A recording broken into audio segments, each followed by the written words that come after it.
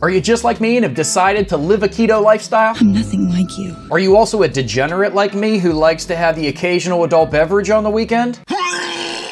But when you have enough adult beverages, you tend to have absolutely no willpower, and most people in that point are gonna call the nearest pizza place. So, how about we just make a keto or low carb pizza bites? It's super simple, and I'm telling you, it's insanely good. You better be right. So, you can do it in two different ways. You can use pizza crust, or you can just use cheese and toppings. I prefer the cheese and toppings, but a lot of you might prefer pizza crust, so let's do it both ways. So, if you wanna go with the pizza crust method, this is also gonna add an hour, maybe even over an hour to your recipe time because you have to mix all the ingredients for the pizza crust, put it in a bowl, let it rise for an hour, and then put it in the actual pan and let it sit for 10 minutes. So it adds an extra hour and 10 minutes to your recipe time, which is something you should probably be aware of. If you're already drinking and you decide to make this, there's no way you're gonna wait over an hour to eat it. You're gonna end up eating the ingredients like a savage. So just stick with the non-crust version. But I'm gonna show you both anyway. If you wanna go with pizza crust, there are keto pizza crusts available. Here's one from King Arthur. It's keto wheat pizza crust and it only has one gram of net carbs per serving, which is pretty low. But again, anything you add to this recipe that does have at least one or two carbohydrates in it is going to increase the overall carbohydrates, obviously. So you choose which one is right for you. And I'm gonna explain another big difference between going crust and not crust later on in the video, so stick around. I'm going to leave. I want to leave. So one is let's get some ingredients together. So we're gonna use cheese, obviously. We're gonna use mozzarella and Parmesan. We're also gonna use pizza sauce. And if you can find the lowest carb pizza sauce possible,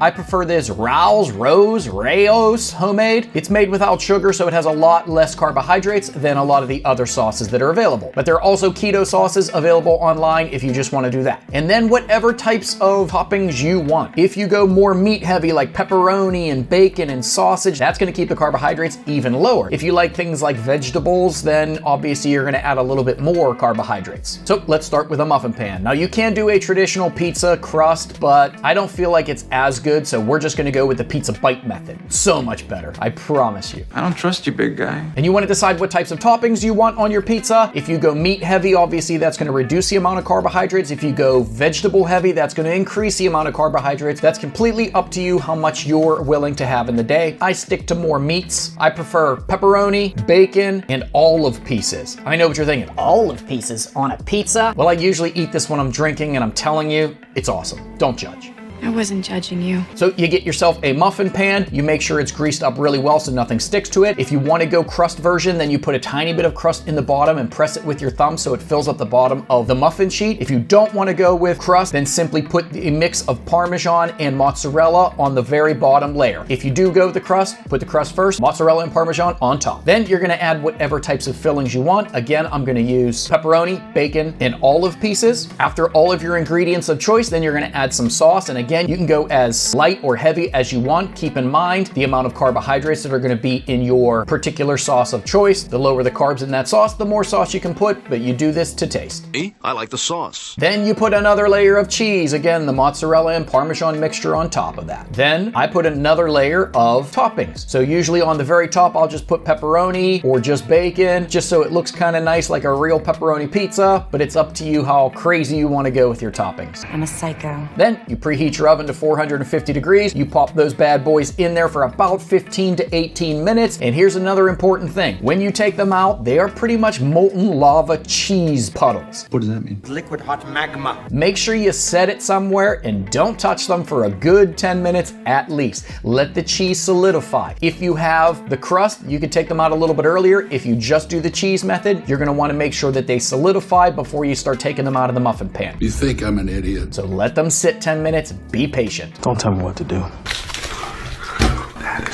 That is hot. Now you pull them out. If you want to dip them in ranch, I prefer like a Primal Kitchen Keto Ranch dressing, which is excellent and low carb. So I dip those bad boys right inside of the ranch, and it's the perfect keto snack or meal after you've been drinking. Now, this is also really heavy on fat and grease, so they're actually super, super filling. I can usually only eat three or four of these things, and these pans hold 12. So you could probably get two nights worth of drinking out of this meal. Nobody can drink that much. And let's talk about reheating. If you reheat reheat them with the crust on them, they stay together much better. But be careful if you reheat them with just the cheese, they are gonna turn into a soggy cheese snack. Again, after you reheat them, let them sit for a few minutes to kind of re-solidify before you try picking them up. But there you go. There's no reason why you can't stay on a ketogenic diet and have really tasty food on a night of drinking. This is what I do. It works for me. I freaking love these things and I would recommend that you try them out there if you're on the same path as I am. I hope I'm not